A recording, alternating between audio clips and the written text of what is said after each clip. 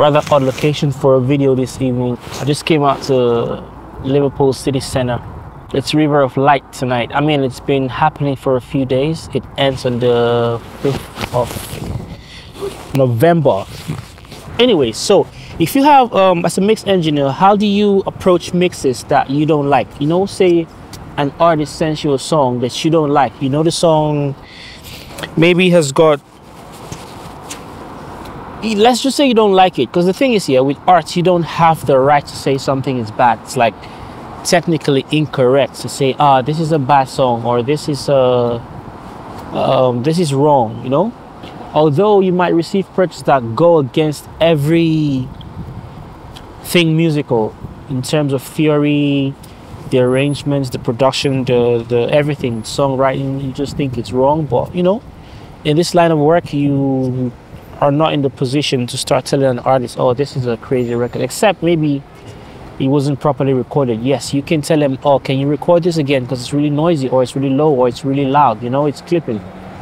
But if it's a, a thing about the composition or the arrangement, you really don't want to start telling your artist that you don't like the song, you know, because uh, you don't know what you might do to his or her confidence. So how do you approach mixes when it's like that?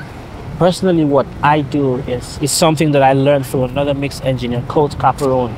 He's a professional mix engineer as well. And he said when he receives mixes that he doesn't like, like he doesn't like a song or he thinks um, it's just not his kind of music, he finds one element in the song that he likes. He finds one thing that interests him in the entire song and he uses that as a point of contact to the song. So he tries to build everything else around that element. So let's say in the song there's all these things going on, but you like the guitar. There's a guitar line that you really like.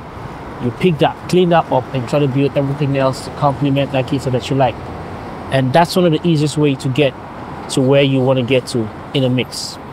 Because realistically speaking, your job as a mix engineer is to solve problems. And if you encounter a song with loads of problems and you can't solve it, that's you feel that your job description, so you're gonna solve the problems. And this concept of using the element that you like is, I think, it's the only way that I have found that works for me.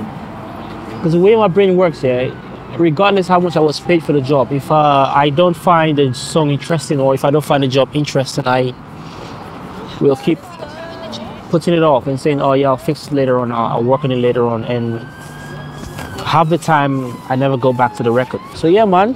I hope I uh, gave you a tip, a valuable tip that you end up using. If you get a song that you don't like, find one element in the song that you like, mix that, make it clean, and make sure. Nah, you're good. You're good. Don't worry about me. You're the YouTube either. Yeah, thank you very much. How y'all doing? um, yeah, what was I saying? Find an element that you like, fix it up, and build everything else around it. Peace. I'll see you again sometime. I'm out of here.